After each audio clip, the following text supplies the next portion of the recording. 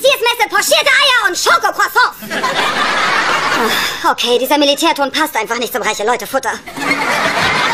Ich muss dir was Witziges sagen. Wenn du Puppenhaare föhnst, dann ist heiß einfach zu heiß. Oh. Ach, das macht doch nicht Süße. Nasen werden sowieso überbewertet. Frag mal Voldemort. Nenn doch seinen Namen nicht. Guten Morgen, Jessie. Jetzt geht's ins Wochenende. Wochenende. Wochenende. Du, du, du. Heute ist Montag. Och, weck mich am Samstag wieder. Hallo, gute Familie. Jetzt lernen wir etwas Neues. Oh Mann. Was hast du denn da an? Das ist mein Shawani. Den trägt man nur zu ganz besonderen Anlässen. Mein Hauslehrer hat gesagt, ich kann jetzt auch zur Schule gehen, so wie Emma und Luke. Also welcher Tag wäre besser geeignet? Besser wäre die Premiere deiner Nachtclub-Show in Las Vegas. Luke. Das ist doch wirklich ein wunderhübscher, traditioneller indischer Shabopi. Shivani. Sag ich doch. Bunny. Ich muss dir sagen, du siehst wirklich toll aus. Und ich weiß, Luke wird dir heute zur Seite stehen. Du passt gut auf ihn auf. Er geht bestimmt nicht verloren. Der sieht doch aus wie ein Verkehrshütchen mit Haaren. Jetzt geh dich endlich anziehen. Deine Lehrer schicken auch so schon genug Briefe, ohne dass du in Unterwäsche auftauchst. Na, wie gefallen dir meine Schuhe? Ich finde, sie sehen aus wie mittelalterliche Folterwerkzeuge. Aber total schick. Und meine Freundinnen werden sie auch bald tragen. Wie kommst du darauf? Weil ich damit einen Trend setze. Es ist meine Pflicht, sie in Modefragen zu erziehen. Du wirst diese Pflicht heute allerdings in flachen Schuhen erfüllen. Da kann ich nur lachen. Zieh dich endlich an.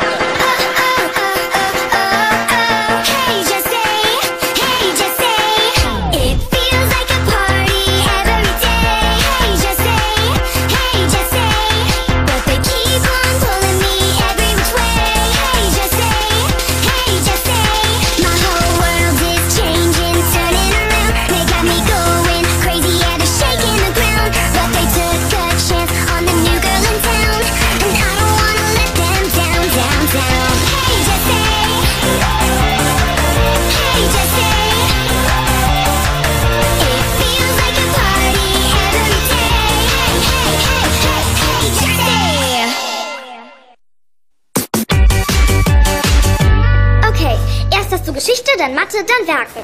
Das Werken wird aber nicht von Handwerkern für dich übernommen. Das musste ich auch erst lernen. Danke, aber mach dir keine Sorgen. Ich kenne mich mit solchen Schuldingen aus. Feuer! Feuer! Hilfe! Ich muss meine neue Schule retten!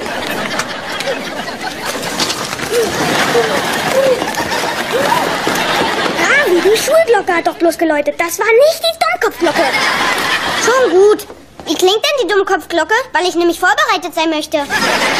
Ich denke, du bist vorbereitet. Der Unterricht geht los. Jetzt schnell, schnell.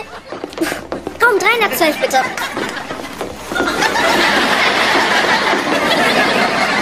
Ravi Karos, nett dich kennenzulernen. Hallöchen, mein lieber Mitschüler. Darf ich dir vielleicht ein Foto von meiner Exe zeigen? Ravi, du solltest es ruhiger angehen. Ich möchte doch nur Freundschaften schließen, aber die scheinen mich alle gar nicht zu beachten. Doch, die beachten dich. Hör zu, ich bin in Eile und sag dir jetzt, was du tun sollst. Finde einen Hauptfreund, triff dann alle seine Freunde und bumm, du bist dabei. Oh, ich verstehe.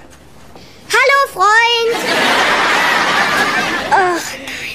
Oh, ich würde wirklich gern dein Hauptfreund sein. Aber es ist hier in der Schule unerwünscht, dass sich Schüler unterschiedlicher Klassen miteinander anfreunden. Ich bin in der sechsten und du in der fünften. Das geht einfach nicht. Feuer, Unterricht oder Dummkopfglocke? Unterricht. Na los! Der Davenport ist wieder da und damit mein nervöser Juckreiz. Ich dachte, der war für eine Woche suspendiert. Ja, das war so geplant, aber die Lady an der Essensausgabe hatte Angst auszusagen. Okay, also beruhige dich und vermeide Blickkontakt. Äh, alles klar. Etwas zu trinken wäre jetzt sehr gut. Gib das her! 45 Gramm Zucker? Soll ich im Unterricht anfangen zu zittern? Morgen, da bringst du mir Karottensaft mit. Und bring auch ruhig welchen für dich mit. Dein Körper ist ein Tempel. Ich will ihn dir nicht gern einreißen. Hast du ihm in die Augen gesehen? Nein, ich habe nur seine Nasenlöcher angesehen. Die waren so aufgebläht. Und er hatte Popel in den Löchern.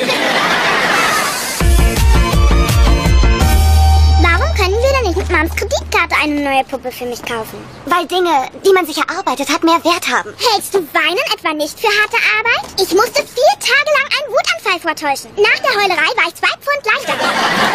Das ist beeindruckend.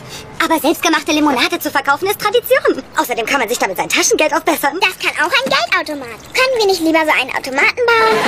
Nein. Hm? Du wirst dir das Geld für diese Puppe verdienen. Wie teuer war sie eigentlich? 20, 30 Dollar? 200.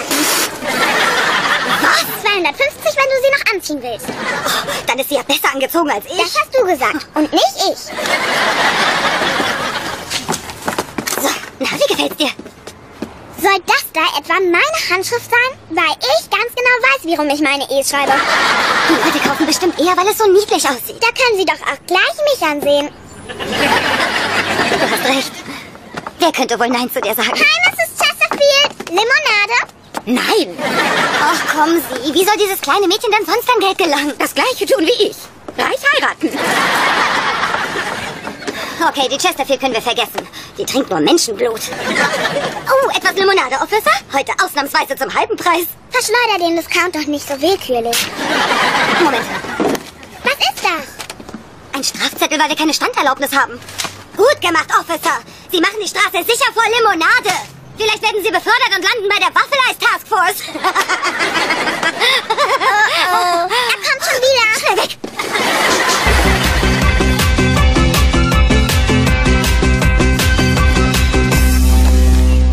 Hi, Bruderherz.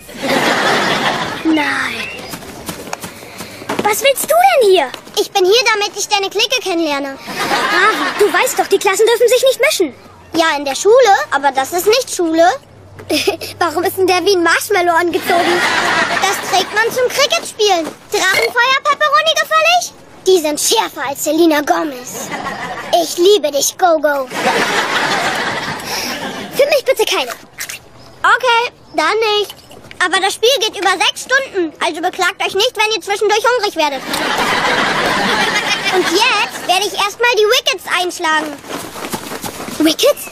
Crickets? Der hat sie doch nicht alle. Wo hast du denn den aufgetrieben? Ich kenne ihn gar nicht richtig. Er ist der Nachbar des Freundes des Cousins meines Vaters Hundes. Die Wickets sind fast alle drin. Oh nein, du hast einen Rasensprenger kaputt gemacht. Ganz toll, Luke. Der Nachbar des Freundes des Cousins deines Vaters Hundes hat unser Feld geflutet. Fahren wir ab, Jungs.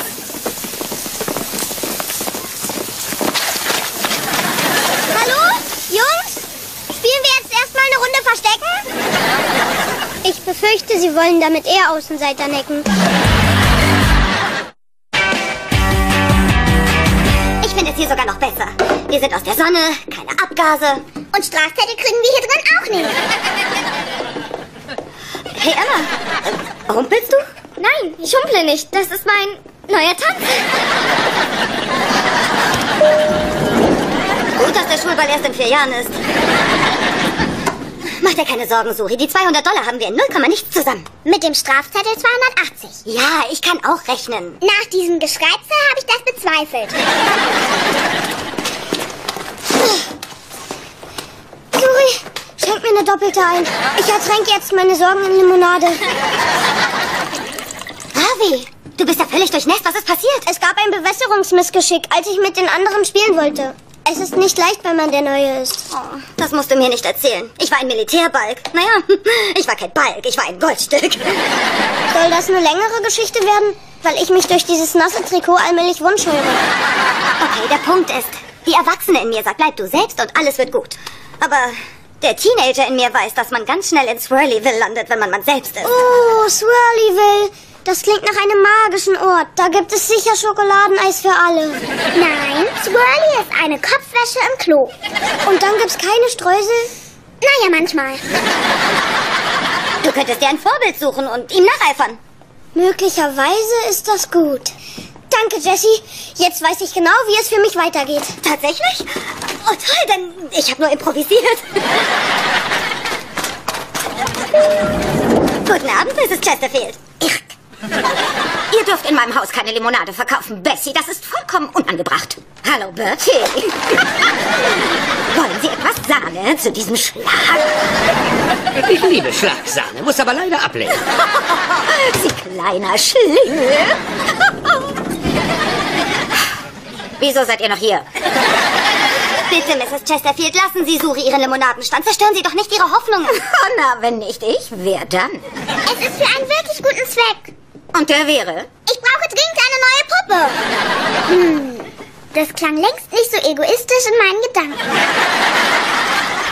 Seltsames kleines Mädchen. Lass dir das eine Lehre sein. Wenn dir das Leben Zitronen schenkt, mach keine Limonade draus. Und jetzt bring dein Gesöff woanders an den Mann. Diese Frau sollte nicht so viel Hassbrause trinken.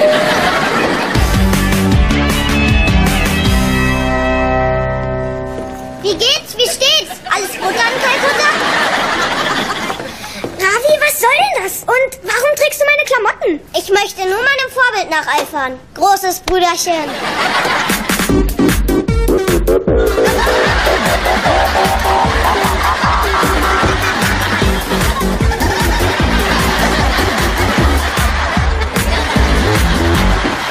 Hip-Hop ohne Stopp, schwungvoll vorgetanzt. Ravi, Ravi, Ravi. Guck diesen Jungen nicht an. Du meinst den Hornochsen da mit dem Mädchenschnurrbart? Hat mich gerade jemand Hornochse genannt? Hör mal, das war nur eine nette Floskel. Das war nur ein kleiner alberner Scherz, wie er unter Schülern üblich ist. Dafür dürft ihr mich heute alle zum Mittagessen einladen. Ist das etwa Formschinken, Kleiner? Nein, ich glaube, das ist Mortadella. Bitte tu mir nichts. Das brauche ich gar nicht. Die Nitrate zerstören dich schon von ganz allein. Ist rein biologisch. Ja, besser wär's. Hey, Essenslady, Sie haben nichts gesehen. Vielen Dank, Ravi. Ich entschuldige mich aufrichtig, Bruder. Weißt du was? Brüder können wir zu Hause sein. Aber wenn wir uns außerhalb sehen, dann möchte ich, dass du mich nicht kennst. Dann kann ich dir wohl jetzt nicht deine Unterhose wiedergeben?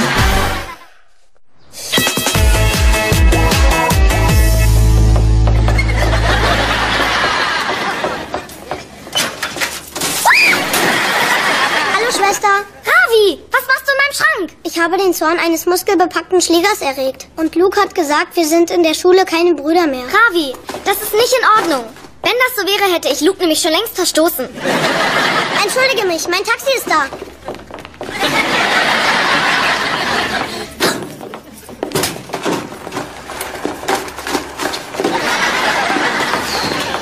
Oh, hi, Jessie. Was tust du denn hier? Du hast ein Edgar Allan Poe Buch vergessen. Ich habe eine seiner Geschichten im Bus gelesen. So viele tote Bräute, das ist schon eigenartig. Also, was möchtest du mir sagen? Nichts, danke für das Buch. Wir sehen uns später. Emma, du bist 20 Zentimeter größer als heute Morgen. Also, würdest du bitte aus dem Beutel steigen und mir das erklären? Naja, die Sache ist... Luke hat zu Ravi gesagt, sie sind keine Brüder mehr. Ich gehe jetzt. Hast du dir wehgetan? Luke, wage es ja nicht abzuhauen. Emma, du solltest diese Schuhe nicht in der Schule tragen. Los, her damit. Na, komm hoch.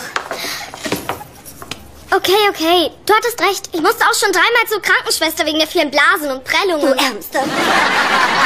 Und den Trend hat sowieso keiner mitgemacht. Hm. Ja, was sehe ich denn da? Sehr elegant, Schwester Nancy. Reden wir mal kurz über Ihren Hosenanzug. Okay, jetzt kommen wir zu dir und Ravi. Hör zu. Man kehrt seiner Familie niemals den Rücken zu. Das gilt besonders für meine, weil alle bewaffnet sind. Aber Ravi hat mich blamiert. Und wie? Ach ja? Meinst du, mir ist das nicht peinlich, wenn mein Grandpa in seine Pickup-Songs von Katy Perry mitsingt? Oder wenn meine Tante Ruby so ein bauchfreies T-Shirt trägt, auf dem steht, seid nett zu Texanern. Denkst du, das finde ich nicht auch grässlich? Wie geht's? In der Familie geht's immer um Loyalität. Okay, okay. Ich hab's verstanden. Gut. Das hat gewirkt. Und ich musste nicht mal Onkel Randy und seine seilspringenden Frettchen auffahren. Was geht ab, Leute? Hat einer von euch Ravi gesehen? Ja, vorhin ist er mal auf der Hausmeisterkarre mitgefahren. Wirklich, Luke. Der Kleine ist seltsamer als diese beiden Eierzwillinge.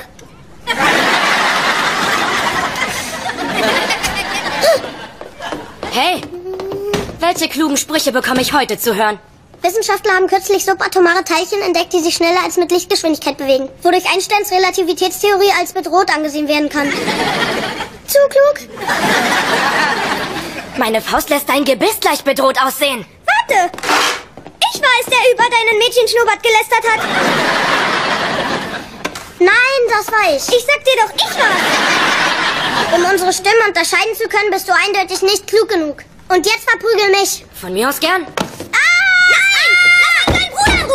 Ruhe! Und wenn ich das nicht tue, du Krümel, Dann lässt meine Faust dein Gebiss gleich ziemlich alt aussehen.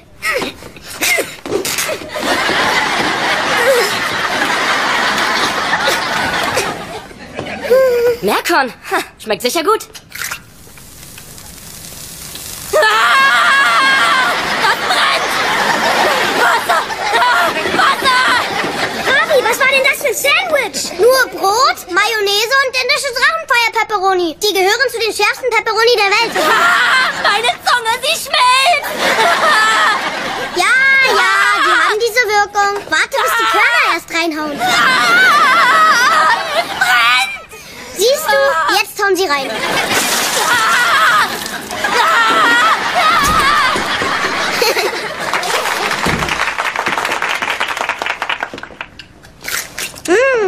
Köstlich. Das war abgefahren, aber warum brennt es bei dir nicht, wenn du das isst? Da, wo ich herkomme, schlafen die Menschen auf Nagelbrettern und laufen über glühende Kohlen. Das hier ist gar nichts dagegen. Danke, Bruder. Tut mir leid, dass ich so ein Idiot war. Das warst du. Aber ich verzeihe dir. Hey, willst du nicht mit uns ein bisschen abhängen? Danke sehr, aber ich bin leider schon verabredet. Vor dir steht der neu gewählte Sekretär des Reptilienclubs. Hey, das ist ja echt cool.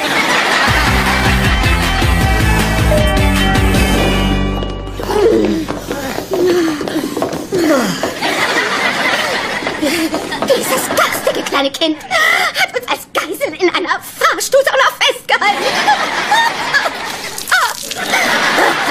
Das schon. Da bist du also, Suri. Wieso ist das hier drin so heiß? Mit dem Heizofen lässt sich sehr gut Limonade verkaufen. Im Grunde ist das Erpressung. Aber ich habe 300 Dollar verdient. Wer sagt, Verbrechen zahlt sich nicht aus? Dann holen wir dir mal die Puppe. Das geht nicht. Wegen der Heizung, des Strafzettels und des super süßen Badeanzugs reicht das Geld immer noch nicht.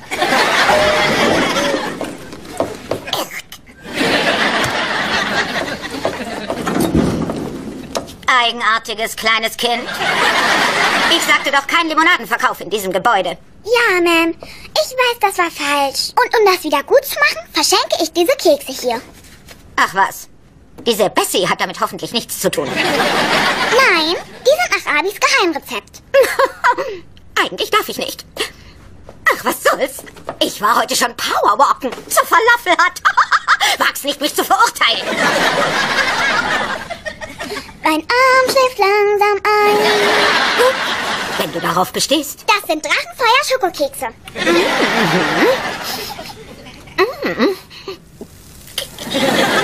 Scharf! Scharf! So scharf! Schärfer als Anderson Cooper! Ich brauche Wasser! Wasser hilft da nicht. Was Sie brauchen, das ist Milch. Milch zu verkaufen, Milch zu verkaufen. Nur 10 Dollar pro Becher.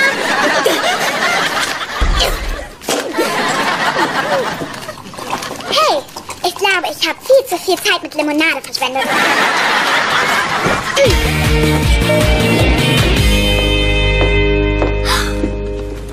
Hey, das sind meine Schuhe. Ach, keine Aufregung. Ich brauch sie mir nur, bis du 18 bist. Ich zeig dir mal, wie man darin geht.